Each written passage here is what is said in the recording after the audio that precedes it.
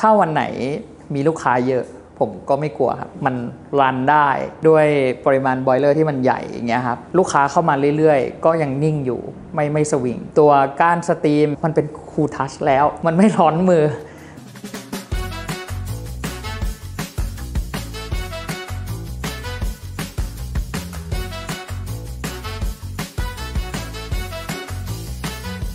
ออฟครับ เป็น owner ร้าน Cross X Roastery ครับ แล้วก็เป็น roaster ด้วย ตั้งใจทำร้านให้มันเป็น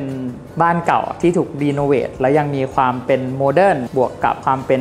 บ้านไม้เก่าๆอยู่ เพื่อที่จะให้ลูกค้าเข้ามาเห็น มีเมล็ดคั่วขายนะ แล้วให้กับลูกค้าได้ชิมด้วยครับ ก็เลยเกิดร้านนี้ขึ้นมา ทีนี้กาแฟเวลา roaster เขาคั่วมาเนาะครับพอกาแฟ character ไม่เหมือนกัน มันจะต้องใช้โปรไฟล์ที่ไม่เหมือนกันด้วย เพื่อให้เหมาะกับกาแฟนั้นๆ ลองหาเครื่องที่สามารถตอบโจทย์ของผมตรงนี้ได้ โดยที่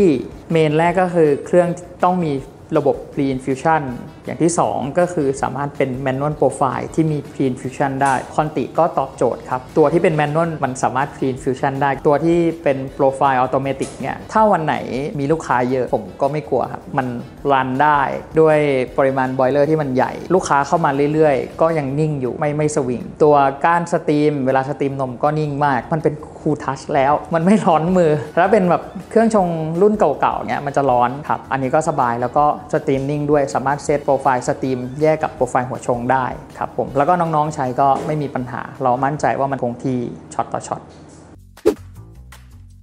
จะมีเป็นตัว coffee pudding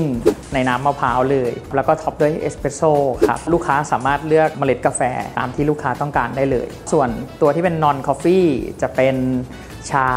คาโมมายล์แล้วก็ตัวยูซุแล้วก็จะมีไซรัปที่เป็น lemon honey ที่เราทำเอง shake รวมกัน ไม่เปรี้ยวไปไม่หวานไปครับ ให้ความสดชื่น ฝาก